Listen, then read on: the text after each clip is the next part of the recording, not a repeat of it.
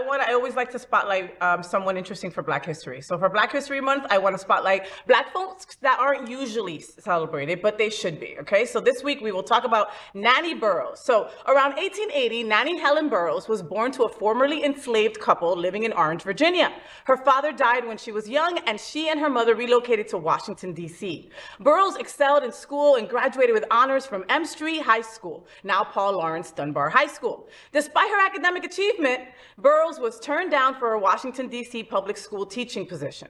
Some historians speculate that the elite black community discriminated against Burroughs because she had darker skin. Undeterred, Burroughs decided to open her own school to educate and train poor working African American women. In addition to founding the National Training School for Women and Girls, Burroughs also advocated for greater, greater civil rights for African Americans and women. At the time, black women had few career choices. Many did domestic work like cooking and cleaning. Burroughs believed the women should have the opportunity to receive an education and job training. She wrote about the need for black and white women to work together to achieve the right to vote. She believed suffrage for African American women was crucial to protect their interests in an often discriminatory society. Burroughs died in May 1961. She never married and she devoted her life to the education of black women. In, in 1964, the school was renamed the Nanny Helen Burroughs School in her honor. Burroughs, uh, Burroughs defied societal uh, restrictions placed on her gender and her race and her work uh, foreshadowed the main principles of the civil rights movement of the 1960s and 70s.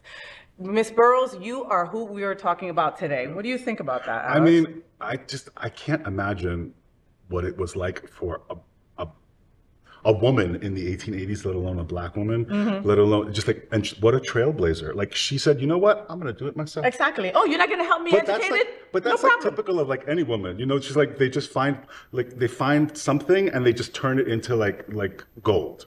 But that doesn't happen right away, Alex. Like this woman had to fight and fight and fight. And she fought. And, and you get told how. I mean, you know, I know that you're not used to anybody telling you no with that face, but I know what it feels like to be told no. And after one or twice, like once or twice, you go, ah, you know what? I'm done fighting. Do you get that a lot? Like, do you get like women like?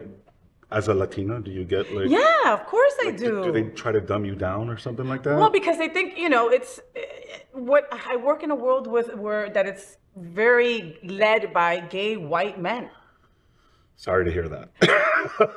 well, and you know, and women out there, you probably live in a world that's ruled by white men. Yeah, you know, yeah, yeah. so it's one of those things where if you look a certain way, you're automatically thought that you must not have a brain. If you have a boobs bigger than a B cup, then you must not have a brain, and that's not the case. You but know, that's why you got to do it yourself. Mm-hmm. And you, if you have an idea, and if you have like, I mean, she must have fought like crazy to like and then be discriminated by your own people because, because, you're darker. Because you're darker. What is that all about? You know, it's it's crazy because that happens also in Latin yeah. communities as well, where right. it's like, oh, my hair is better than you. Tengo el pelo bueno. That means I have good oh hair. so I'm better than you because I have better hair. You yeah. know, yeah. like you know, nappy like is very mainstream. But when I grow up, I was like, oh my god, like you know, it hurt to be called like if you had a nappy head. I, I remember like having Puerto Rican friends who were uh, Afro, like Tainos, mm-hmm. the difference between, and then there's like the Ricky Martin Puerto Rican. the J Lo Puerto Rican is not what they all look yeah. like. You know what, you I, mean? what I mean? So I mean, it's the, the, it's like a case system almost. It's like the darker, the the darker ones, isn't it? Like the closer you are to white people, the more you're passable. But like if in, in slavery, you know, if you're if you're a different shade, you might be able to work inside the house. That's true.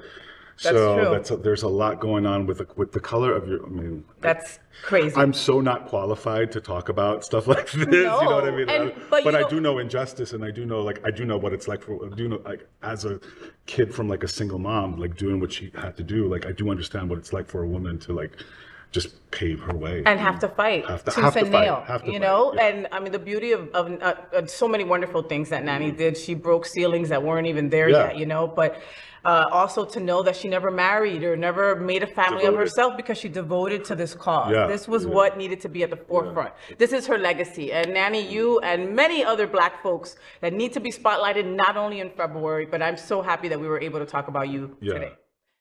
So did you enjoy the show? I know you did. So make sure to click subscribe so you won't miss any of the events, news, or interviews right here on the Fay What Show.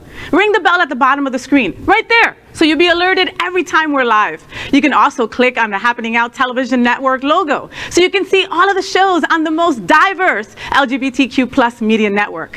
Find out just what we're doing to bring the L and the G together right here on the Fay What Show. Get the week started with me,